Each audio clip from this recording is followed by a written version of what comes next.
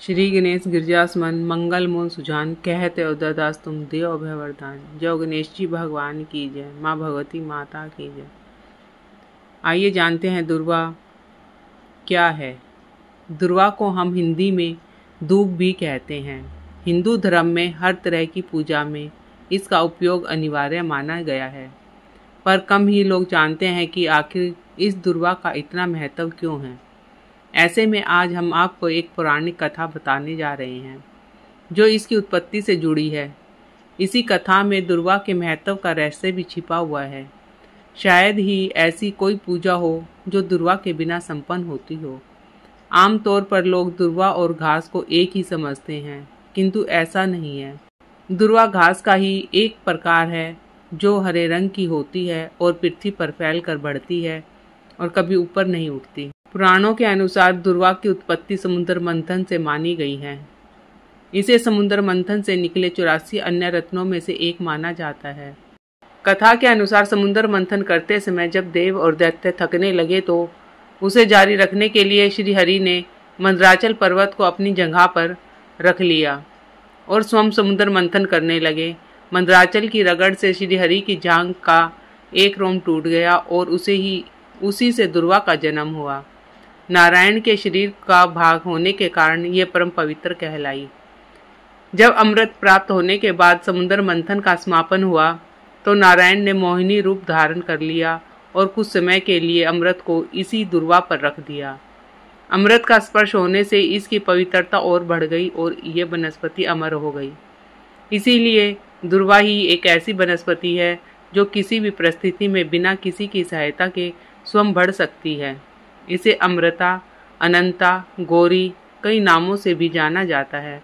सनातन धर्म में कोई भी मांगलिक कार्य बिना हल्दी और दुर्वा के पूरा नहीं माना जाता।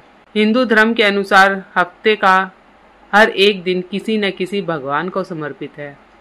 सनातन धर्म में बुधवार का दिन देवताओं में प्रथम पूज्य भगवान श्री गणेश को समर्पित है।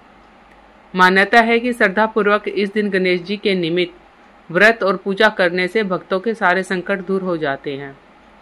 एवं गणेश जी भक्तों की सभी मनोकामनाएँ पूर्ण करते हैं। श्री गणेश जी को दुर्वा अत्यंत प्रिय है। बुधवार के दिन भगवान गणेश जी को दुर्वा अर्पित करने से वे बहुत ही शीघ्र प्रसन्न हो जाते हैं। बिना दुर्वा के भगवान गणेश की पूजा अधूरी मानी जाती है। लेकिन आपके मन में सवाल उठता होगा कि आखिर गणेश जी दुर्वा से इतने प्रसन्न क्यों होते हैं? तो आइए जानते हैं क्या है इसके पीछे की पौराणिक कथा। शास्त्रों में वर्णित एक पौराणिक कथा के अनुसार, प्राचीन काल में अनलासुर नाम का एक दैत्य था। उसके उत्पाद से धरती और स्वर्ग पर त्राई त्राई मची हुई थी। अनलासुर एक ऐसा दैत्य था जो ऋषि मुनियों और साधारण मनुष्यों को जीवित ही निगल जाता था। इस दैत्य के अत्याचारों से त्रस्त होकर इंद्र सहित सभी देवी देवता, ऋषि मुनि, भगवान शिव से विनती करने पहुँचे। उन्होंने प्रार्थना की कि किसी भी तरह से अनलासुर के आतंक को समाप्त करें, तब भगवान भोलेनाथ ने समस्त देवी देवताओं और मुनि ऋषियों की प्रार्थना सुनकर उनसे कहा कि, दैत्य, अनलासुर का नाश केवल श्री गणेश ही कर सकते हैं। फिर सभी देवों की प्रार्थना पर गणेश जी ने अनलासुर को निगल लिया तब उनके पेट में बहुत जलन होने लगी। इस परेशानी से निपटने के लिए कई प्रकार के उपाय किए गए, लेकिन उपाय कारगर नहीं हुआ।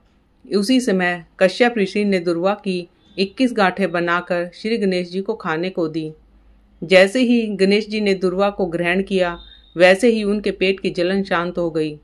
मान्यता है कि उसी समय से गणेश जी पर दुर्वा चढ़ाने की परंपरा की शुरुआत हुई। बोलो गणेश जी, भगवान की जय। गणेश पुराण में एक और भी कथा प्रचलित है। गणेश पुराण की एक अन्य कथा के अनुसार एक बार एक चंडाली और एक गधा गणेश मंदिर में जाते हैं और वह कुछ ऐसा करते हैं कि उनके हाथों से दुर्वा गणेश जी के ऊपर गिर जाती है। गणपति जी इससे काफ़ी प्रसन्न होते हैं और दोनों को ही अपने लोक में स्थान देते हैं।